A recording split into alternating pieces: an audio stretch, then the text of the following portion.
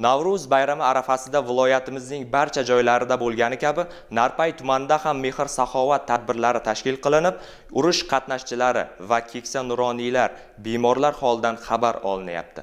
Narpay tuman hokimligi sektor rahbarlari va bir guruh faollar tumanning ko'kota mahallasida yashovchi ikkinchi jahon urushi qatnashchisi ziyod bo'ronov holidan xabar olishdi. Ziyod bobo urushdan keyin ko'p yillar mobaynida xalq xo'jaligining turli sohalarida mehnat qildi. Tuman hokimi ziyod otani bayram bilan qutlab u kishiga sog'lik omonlik tiladi. Otaxon ham duoga qo'l ochib yurtimizga xalqimizga qut baraka tiladi. Mustaqillik mahallasida yashovchi yusuf ota ro'ziyev ham urushdan keyin xo'jalikda iqtisodchi bo'lib faoliyat ko'rsatgan. Mutasaddilar yusuf boboni ham bayram bilan qutlab u kishiga sovg'a salomlar ulashishdi.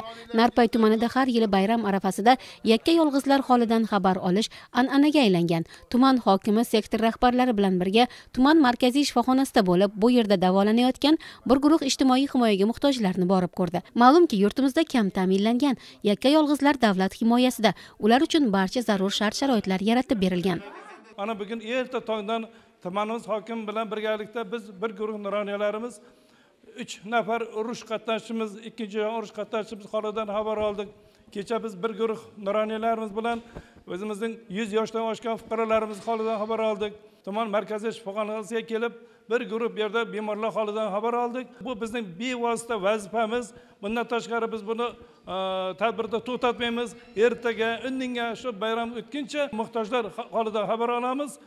Navro'z bayrami arafasida bu kabi xayrli ishlar mahallalarda qishloq va ovullarda davom etmoqda.